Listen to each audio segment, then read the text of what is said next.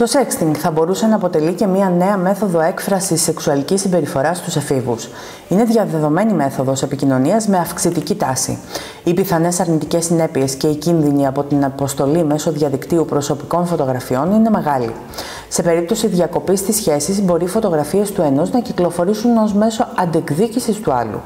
Εάν πέσουν μάλιστα σε ακατάλληλα χέρια, μπορεί να μετατραπούν και σε μέσο εκβιασμού, γεγονός που μπορεί να οδηγήσει και σε πολύ οδυνηρές καταστάσεις.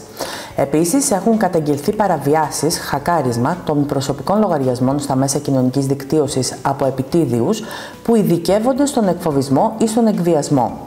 Το κυρίαρχο που πρέπει να συνειδητοποιήσουν τα παιδιά αλλά και οι ενήλικες είναι πως ό,τι ανεβαίνει στο διαδίκτυο με οποιονδήποτε τρόπο μπορεί να είναι προσβάσιμο από τον οποιοδήποτε και να μείνει εκεί για πάντα.